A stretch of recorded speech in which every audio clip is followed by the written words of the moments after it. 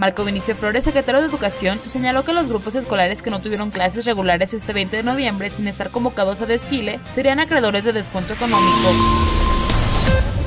Antes del inicio del desfile del 20 de noviembre, simpatizantes de los comerciantes ambulantes retirados de la calle Aldama acudieron con el gobernador a manifestar su descontento.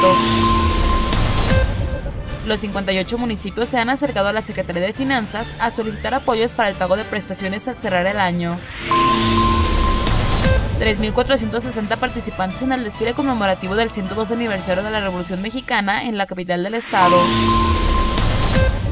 Miguel Alonso Reyes, gobernador del estado, aseguró que analizarán la petición de reubicación de los comerciantes, pero es facultad del municipio. Además, destacó que el presupuesto estatal no podría ser completado hasta conocer el paquete económico federal.